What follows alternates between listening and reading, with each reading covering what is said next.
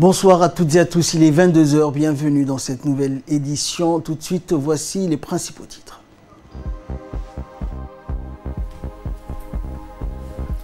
Le président de la République, Smaïl Marguerite, a présidé aujourd'hui les travaux de la 18e séance du Conseil des ministres au Palais de la République. Et dans l'actualité internationale aux États-Unis, ouverture du processus de transition vers l'administration de Joe Biden. Bonsoir à tous et merci de nous rejoindre. Sous la présidence du chef de l'État, chef de gouvernement Ismaël Marguerite, s'est tenue aujourd'hui la 18e session du Conseil des ministres. Était inscrite à l'ordre euh, du jour de cette séance quatre questions. Écoutons pour plus de euh, précision le compte rendu du porte-parole du gouvernement, Mohamed Ali Youssouf. Sous la présidence du chef de l'État, son Excellence M. Ismaël s'est tenue la 18e séance du Conseil des ministres en ce mardi 24 novembre 2020. Elle est inscrite à l'ordre du jour quatre questions. La première question concerne un projet de loi organique portant code général des collectivités territoriales. Cette loi organique portant code général des collectivités territoriales se veut être une réponse aux difficultés d'application des lois numéro 174 de 2002, numéro 139 de 2006 numéro 149 de 2011 et la loi numéro 122 de 2005, induite par les modifications successives de dispositions d'un certain nombre d'articles. Ces modifications ont généré des contradictions, des obligations inapplicables, des vides juridiques quant à l'exercice de l'autonomie financière et administrative et parfois des conditions d'application qui ne sont pas en adéquation avec les textes et règlements en vigueur. Le Code se veut euh, donc être un élément d'innovation et d'amélioration du cadre juridique et réglementaire. Pour cela, l'essentiel des dispositions de ces lois est repris et précisé dans le corps du Code, auquel sont apportées de nouvelles dispositions qui ont pour but de clarifier et de renforcer les principes d'application et les modalités d'exécution et de fournir un cadre réglementaire lisible et compréhensible. Le Code fixe une approche progressive, concertée et négociée pour sa mise en œuvre dans le cadre d'un dialogue et d'un suivi évaluation régulier entre l'État et les collectivités territoriales. Le Code souligne la nécessité de mise à disposition de ressources matérielles, humaines et financières au préalable de tout transfert de compétences, en associant une volonté de relations contractuelles entre les administrations territoriales et les, collectivités pour la fourniture de services d'assistance et de conseil et de mise à disposition des services déconcentrés. Par ailleurs, le Code détermine clairement le principe de subsidiarité, notamment entre les communes constitutives de Djibouti-Ville et la collectivité de Djibouti-Ville. Pour cette dernière, plusieurs dispositions sont apportées afin de promouvoir un fonctionnement collaboratif et concerté entre les communes et clarifier les principes d'autonomie financière et administrative des collectivités énoncés par la Constitution. Ainsi, le projet de loi n'induit aucun bouleversement et dans le fonctionnement de l'État et apporte plutôt des solutions aux contraintes actuelles des collectivités pour être un partenaire de développement. Il permet de préparer l'avenir, de fixer un cap et d'engager l'ensemble des acteurs concernés par la décentralisation dans une démarche progressive, collective et concertée du développement national et local. Poursuivant, le Conseil de ce matin a examiné et adopté également deux projets de loi et un projet de décret portant confirmation dans sa fonction. La suite avec le porte-parole du gouvernement. La deuxième question concerne un projet de loi portant modification de la loi numéro 46 de l'année 2004, 5e législature du 27 mars 2004, relatif au statut et organisation de la Direction générale de la police nationale.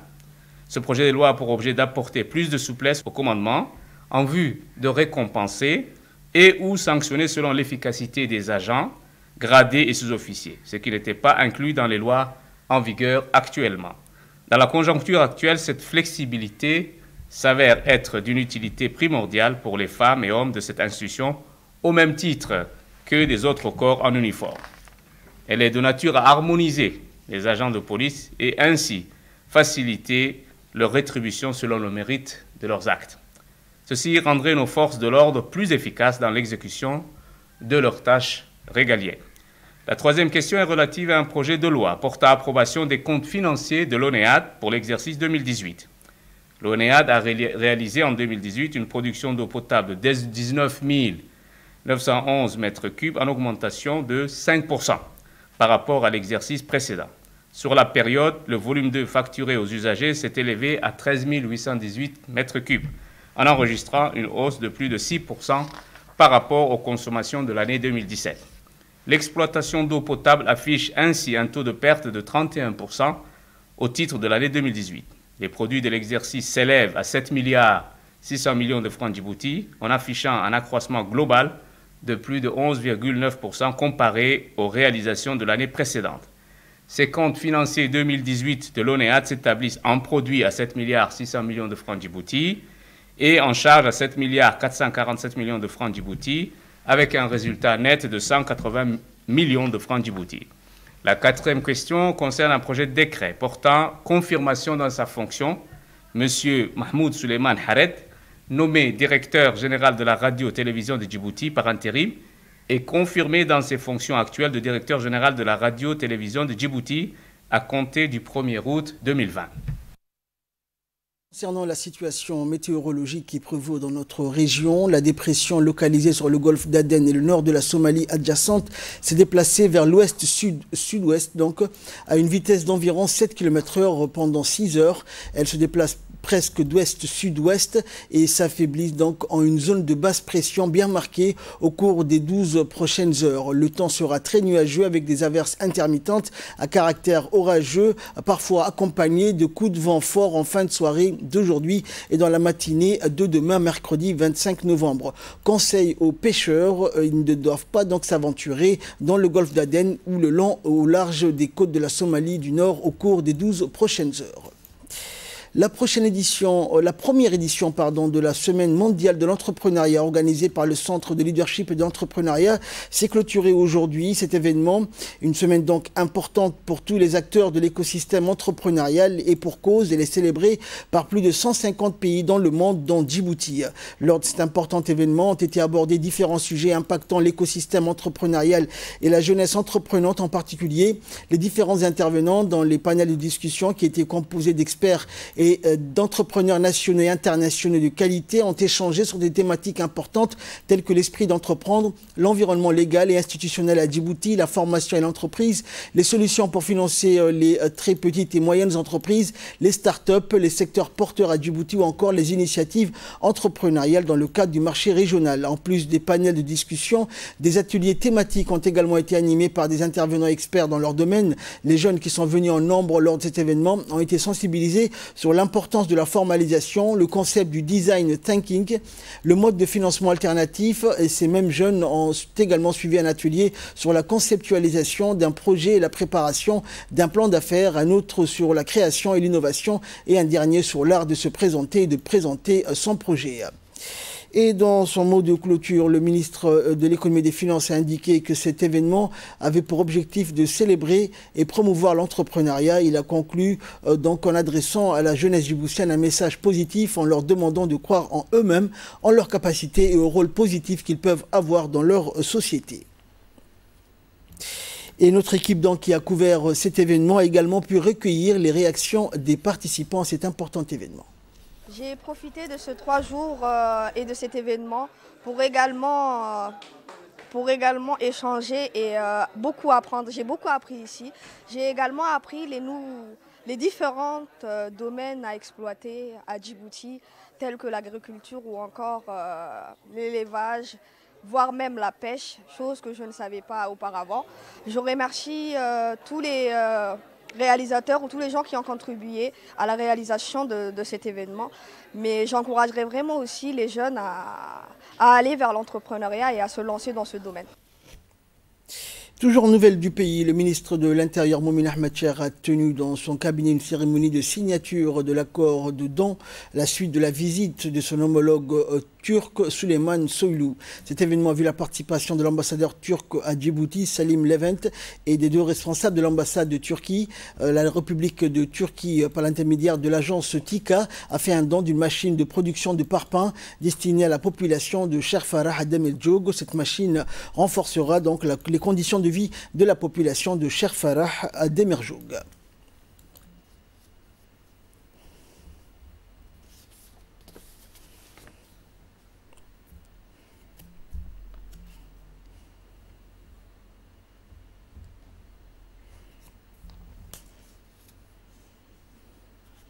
Dans le cadre de la célébration de la Semaine nationale de l'enfant, le ministère de la Femme et de la Famille, en collaboration avec le secrétariat d'État à la jeunesse et au sport et le ministère du euh, Travail, poursuit donc euh, ces célébrations avec les enfants dans les CDC de la capitale et des régions de l'intérieur. La ministre de la Femme et de la Famille, accompagnée du secrétaire général, de la secrétaire générale du secrétariat d'État à la jeunesse et au sport, a participé donc successivement aux différentes kermesses organisées par les CDC euh, des quartiers 2, 3 et 4 dans l'après-midi du dimanche 22 novembre dernier et les enfants ont participé massivement aux différents concours qui ont été organisés à cet effet.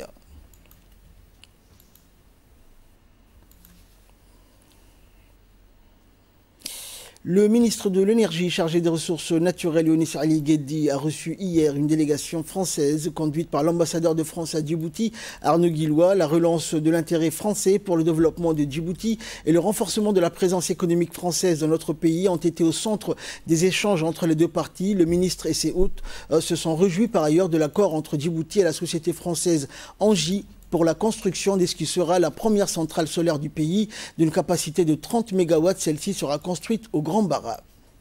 Le ministère du euh, Travail chargé de la réforme de l'administration a organisé la neuvième réunion sectorielle avec la jeunesse à l'occasion d'une conférence spéciale au stade de Gouled. Et donc cette rencontre spéciale avec la jeunesse principale partie euh, prenante, avait pour but d'engager les jeunes dans le processus de réalisation du projet Initiative pour l'emploi qui est mené par le ministère du Travail de manière concertée avec tous les acteurs de l'emploi. L'exercice a consisté en une série de questions de la jeunesse aux membres du gouvernement présents à cette réunion relative donc au chômage et aux difficultés d'insertion des jeunes sur les marchés du travail. La jeunesse a pointé du doigt les obstacles au marché du travail tels que l'exigence d'expérience minimum, de l'éloignement des services de l'emploi, de l'accueil peu enthousiaste des entités économiques dans leur quête d'un emploi ou le manque encore d'opportunités de formation professionnelle. Le ministre du Travail et le secrétaire d'État à la jeunesse au sport ont annoncé l'ouverture d'antennes de l'ANUFIP dans les CDC de la capitale et de Balbala pour rapprocher les services de l'emploi et de l'insertion de la jeunesse. La salle de réunion de la Banque centrale de Djibouti a accueilli une réunion de lancement par vidéoconférence du premier rapport de supervision de la Banque centrale euh, hier, un rapport qui partagera une première partie de ses activités euh, concernant la supervision des établissements de crédit et des auxiliaires financiers et permettra de suivre l'évolution de la réglementation qui révélera les agrégats consolidés des différentes banques de la place et des auxiliaires financiers et qui sera certainement un outil de référence pour tous les cadres des banques. Et cette réunion qui a vu la participation du gouverneur de la Banque centrale et du directeur des divers services et des représentants des banques de la place.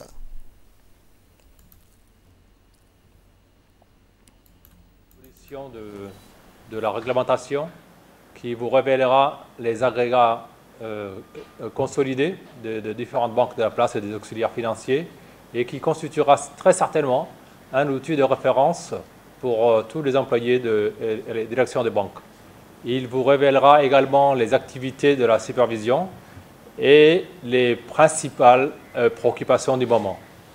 Ce rapport qui arrive dans une période euh, de notre histoire où nous, où nous, avons connu sur le plan économique une évolution très importante ces dernières années, caractérisée par un taux de croissance de l'ordre de 7% sur les huit dernières années, malheureusement contrarié cette année, par 2020, par la, par la crise du Covid.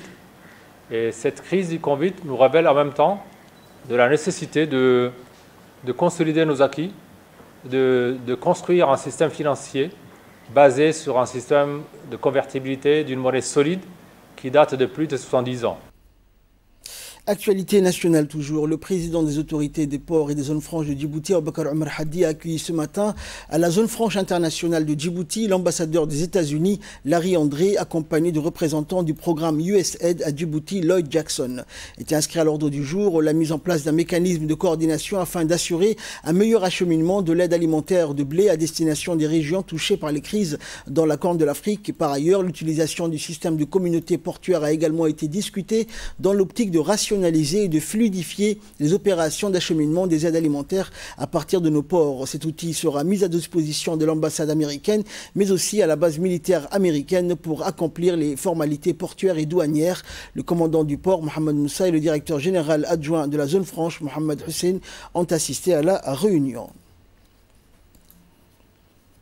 leurs idées modernes, de trouver des bons moyens pour mieux offrir des, services aux clients est, formidable.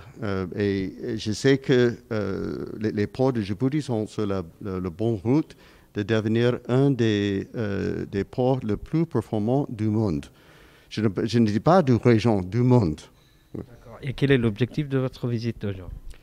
Euh, donc, il y, a, il y avait un objectif euh, spécifique qui concerne euh, des livraisons d'aide humanitaire pour la région, mais aussi pour voir le progrès que le président et son équipe ont réalisé. Le chef d'état-major général des armées, le général de corps d'armée Zakaria Cheikh Ibrahim, s'est déplacé aujourd'hui à bord euh, d'un hélicoptère pour se rendre au complexe de tir de Coronne où une unité du régiment blindé du camp Cheikh Osman effectuait une manœuvre de combat.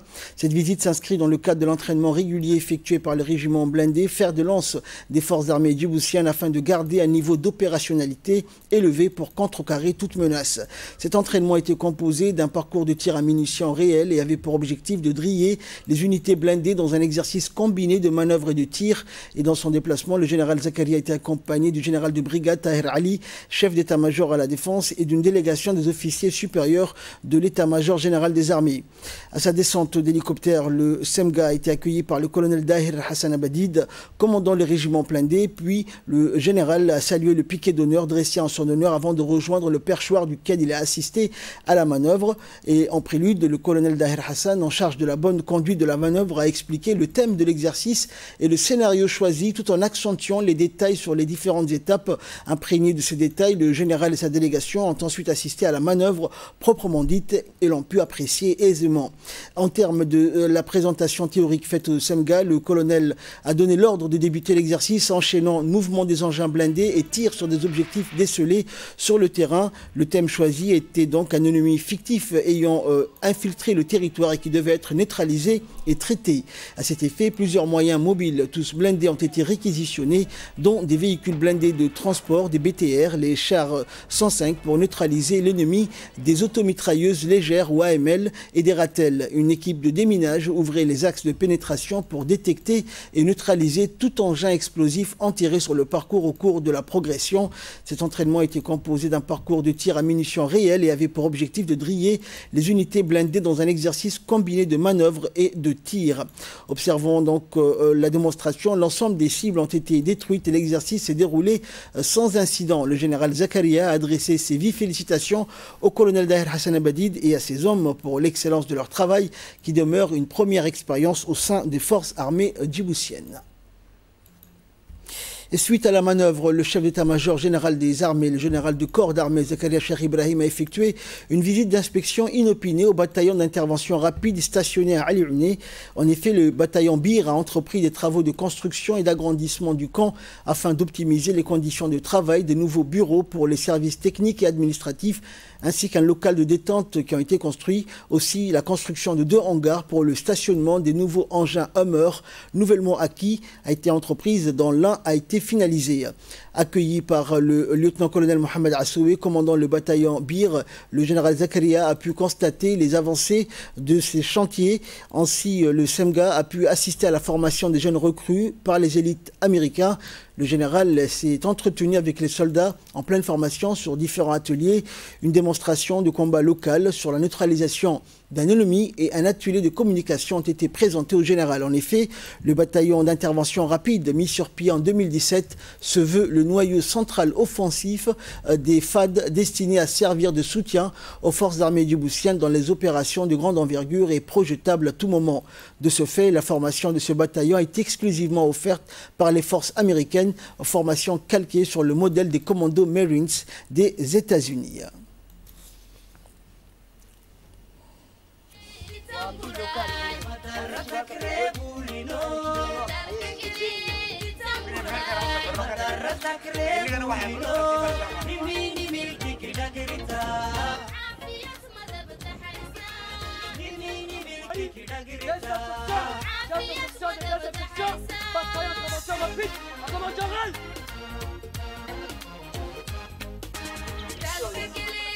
Don't تكريبو لنو الفكري تمورا مدر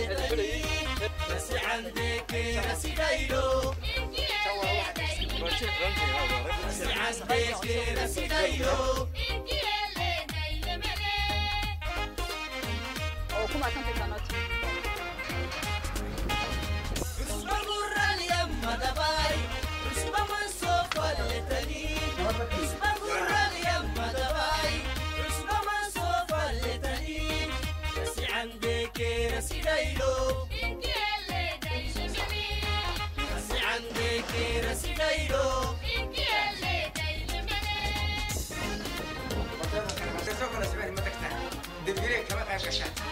What? Right.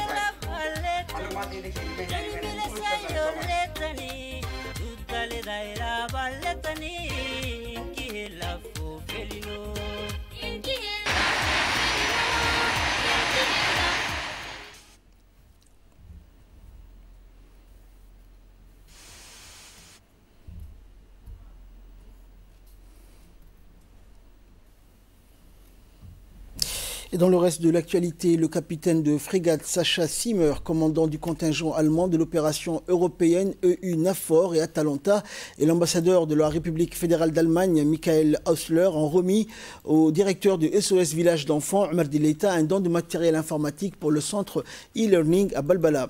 Un geste louable qui sans doute permettra de renforcer les capacités de formation des jeunes filles et garçons dans cette période de pandémie où les cours s'effectuent de plus en plus en ligne.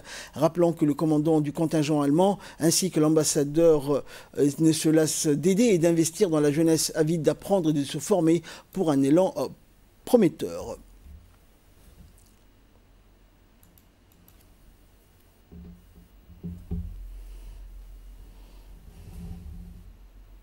Cette visite aujourd'hui, ensemble avec le commandeur du euh, detachment euh, dans le cadre de Atlanta, dans l'opération européenne Atlanta ici.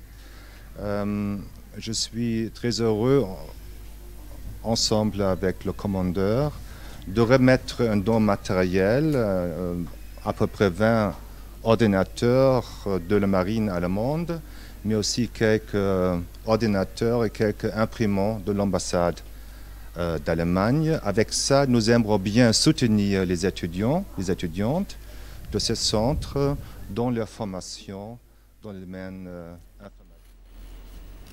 Et de son côté, le directeur du SOS Village d'enfants, Omar Dileta, s'est déclaré confiant quant à la formation des jeunes. On l'écoute.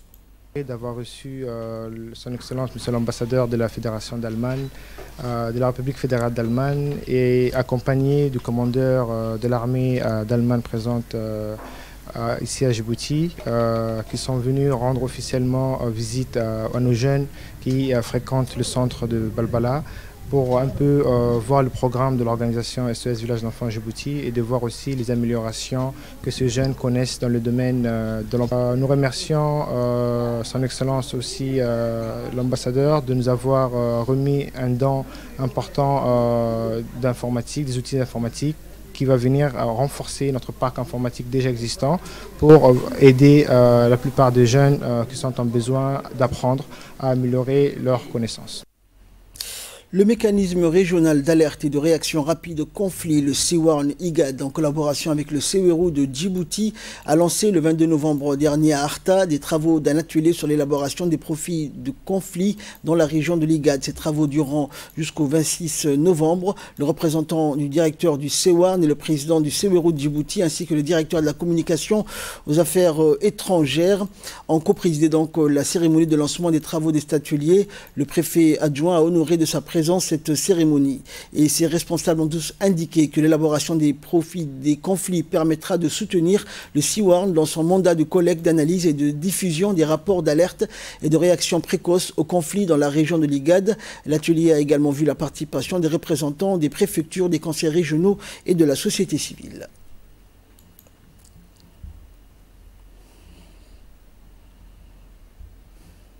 Euh, euh, puisque cet atelier de concertation est réalisé dans la région du centre qui est de notre région. je représente ici la préfecture et ce type d'atelier est un atelier intéressant puisque il regroupe à la fois tous les représentants des cinq régions dans le cadre du programme euh, et dans la gestion euh, de l'alerte précoce des conflits. Euh, les contributions de chacun parmi les participants vont élaborer une stratégie ainsi que des scénarios de riposte ou bien de réponses dans le cadre de l'alerte précoce des conflits. chaque pays qui représente l'IGAD a ses spécificités et l'impact, que ce soit direct ou indirectement, est différent d'un pays ou d'un autre. Donc, euh, c'est pour cela que euh, l'IGAD a souhaité euh, faire une stratégie et, des scénarios par type de pays. Et c'est dans ce cadre-là qu'aujourd'hui, nous sommes réunis ici, à Arta. pour cela, donc, je déclare l'atelier de discussion ouverte dans la région d'Arta. Écoutons également les euh, impressions donc, euh, du directeur de la communication au ministère des Affaires étrangères, Moussa Mohamed Omar. L'élaboration des profils des conflits permettra de soutenir le SUORN dans son mandat de collecte, d'analyse et de diffusion des rapports d'alerte et de réactions précoces aux conflits. Mesdames et Messieurs, au cours de ces cinq prochains jours, du 22 au 26 novembre, vous êtes donc invité à apporter votre contribution afin de dresser des profils de conflits en République de Djibouti. Des experts nationaux et internationaux sont là donc pour vous appuyer dans, dans votre travail. Donc, je vous demanderai tous donc, euh, de prendre donc, euh,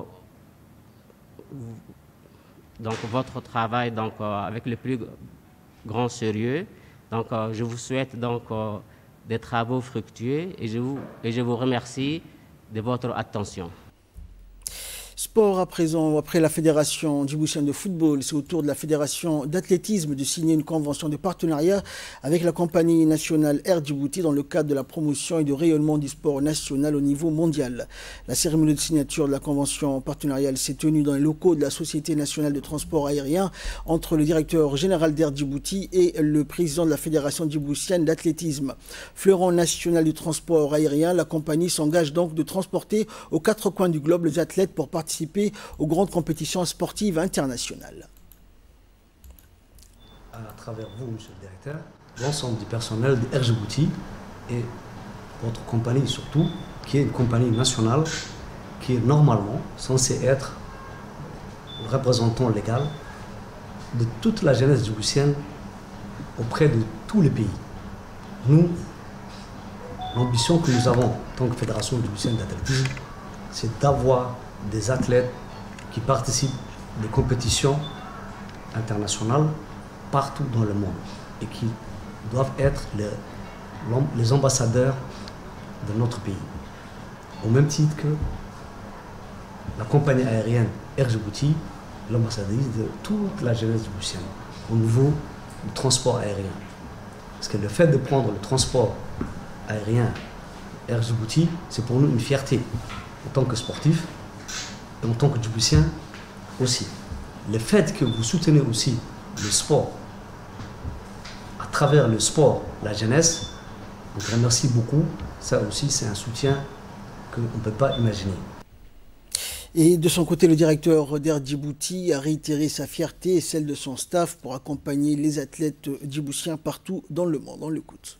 C'est un honneur aujourd'hui pour la compagnie nationale euh, d'être, comme on l'a déjà fait le 30 octobre euh, lors du 10 euh, des 10 km vers.